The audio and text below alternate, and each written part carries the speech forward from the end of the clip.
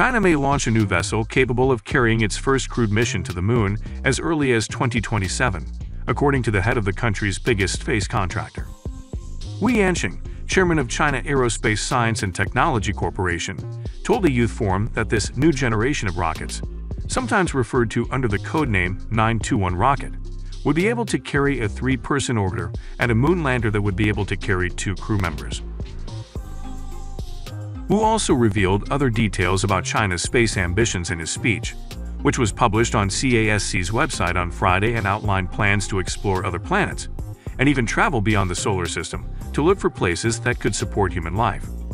The plans include more Chang missions, which aim to bring samples from the far side of the Moon back to Earth in 2026, an environmental and resource survey at the South Pole of the Moon the following year, and establish a research station also at the South Pole in 2028.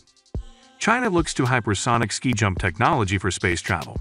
China is hoping to send astronauts to the moon by around Chinese space authorities have indicated they hope to send astronauts to the moon by around 2030, but have not committed to a specific date.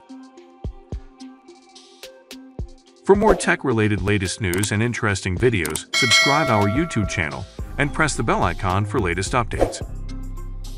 Wu also said there were also plans to send a probe to collect samples from Mars and bring them back to Earth within the next 10 to 15 years. Other objectives include launching a deep space probe around 2025 to explore near-Earth asteroids and main-belt comets. There are also plans to send missions to explore Jupiter and its moons, Uranus, the Sun, and the edge of the solar system.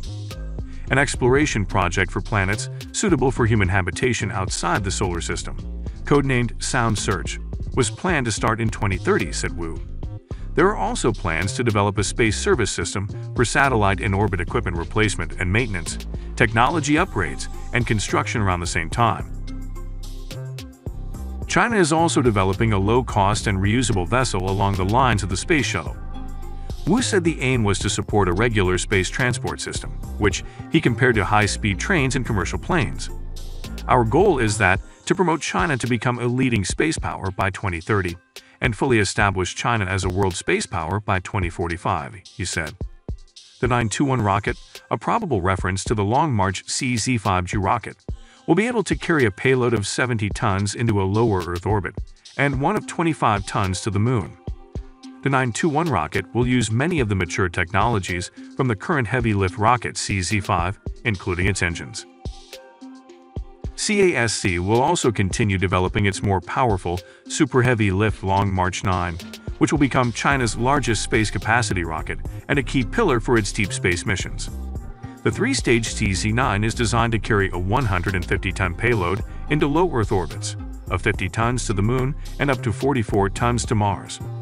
Three new hydrogen-oxygen engines are also being developed for the three-stage rocket.